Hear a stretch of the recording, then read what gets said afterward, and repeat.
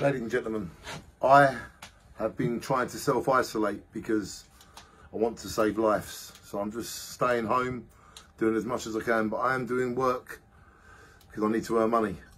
But, ladies and gentlemen, I've heard today that there is some woman um, with a family and they are hungry still. And it is the new year. And this is happening right now where I live. I'm not able to go out and get anything at the moment. I'm stuck home. But if anyone would like to donate some food to this lovely woman who has children and drop them at my house, I will make sure someone comes here to pick them up for her or I will get them dropped off to her. She's a lovely lady, lovely family, and I want to help her right now, but I'm not able to because my hands, my hands are closed because I've got, I can't go out. I've got to save lives. And that's the way it's got to be. We've all got to stay home and save lives. Apart from work, and apart from helping others at safe distance, wearing our masks.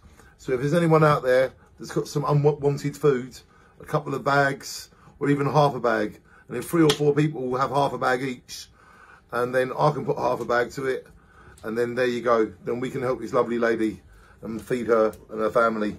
So come on, ladies and gentlemen, show us a kind act is where we're at.